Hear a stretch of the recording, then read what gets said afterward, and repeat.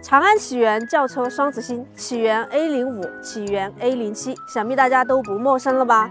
作为长安旗下的新宠儿呢，它的交车仪式想必也是别具一格的。好，那么我今天就来到了长安起源的交车仪式现场，具体是什么情况？走，跟我去看一下吧。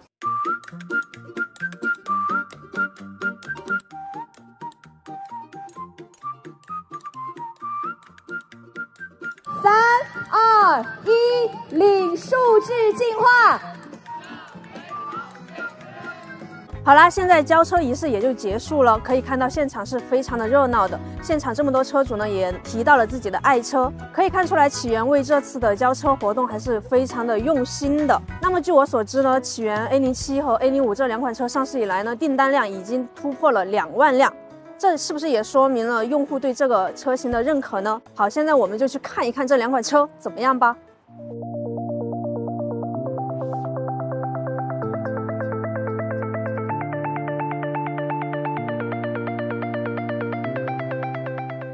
其实我今天刚来到活动现场的时候呢，就被起源双子星的颜值所吸引了。就我个人而言的话，我会更喜欢尺寸大一点的车型。那我们就先来看一下双子星中尺寸更大一点的起源 A 零七，看看这个 A 零七封闭式的前格栅啊，看起来就是非常的有新能源车型的风格。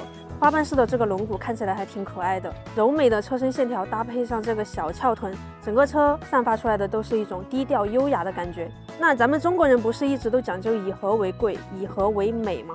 这辆起源 A 零七是非常符合中国式的审美的。哦，对了啊，刚刚我说我喜欢大车，那我们来看一下起源 A 零七的尺寸，长四米九，宽一米九一，高一米四八。那作为一辆十来万左右的车型。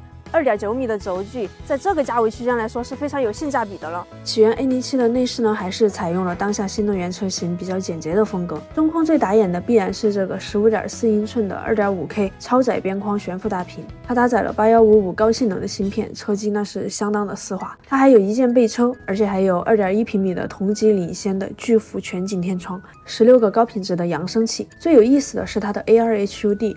融合了导航和娱乐，这个倒还挺有趣的。最主要的是，起源 A 零七标配了 L 二级的 IACC 智能领航系统，这一点应该算是王炸配置了吧？现在很多朋友买车的时候呢，都会考虑增程版本的车型。起源 A 零七的增程版本车型呢，采用了一点五升的高压缩比阿特金森循环发动机，最高功率达到了七十千瓦，峰值扭矩达到了一百四十一牛米。发动机与发电机直连，大幅度降低了传送的损耗，发电效率高达百分之九十六。在提供了七秒级零百加速的同时呢，还实现了每百公里四点五升的亏电油耗和两百公里的纯电续航，以及一千两百公里的综合续航。一个字，绝！那既然是为双子星举办的交车仪式呢，我也不能厚此薄彼。刚刚说完了起源 A 零七，现在我们就去看一下。那么细心的朋友都已经发现了啊，其实 A 零七和 A 零五它们的外观风格是相似的。不过因为 A 零五是紧凑型车型呢，A 零五长四点七八五米，宽一点八四米，高一点四六米，轴距二点七六五米，所以 A 零五看起来呢就没有 A 零七那么的飘逸，多了一丝厚重的感觉。不过它的价格呢是真的香啊。我在这里先卖个关子，待会儿再说。外观设计方面呢，起源 A 零五采用了长安汽车家族式的设计语言，整体造型走的是一个时尚简洁的风格。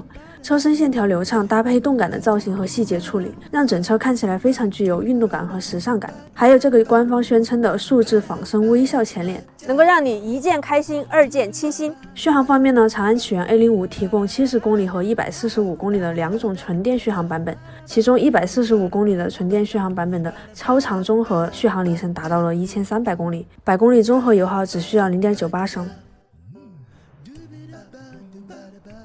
起源 A 零五和起源 A 零七，它们的价格呢？我刚刚不是卖了个关子吗？起源 A 零五八万九千九到十三万二千九，起源 A 零七十五万五千九到十七万六千九。其实我觉得这两款车型呢，结合它们的外观、内饰、动力啊、配置各方面来说，我觉得都是非常有性价比的。而且刚刚让我印象特别深刻的是什么呢？就是今天的交车仪式里面，有一位车主他今天过生日，然后起源呢也是现场为他准备了生日蛋糕，让大家一起来为他庆祝这个生日，让他在这个特殊的日子又过了生日又提了车，就是双喜临门，就是会成为有纪念意义的一天。这也是能看出来起源真的还蛮用心的。那最近有换车买车打算的朋友呢，其实不妨考虑一下这两款车型，我觉得还是非常不错的。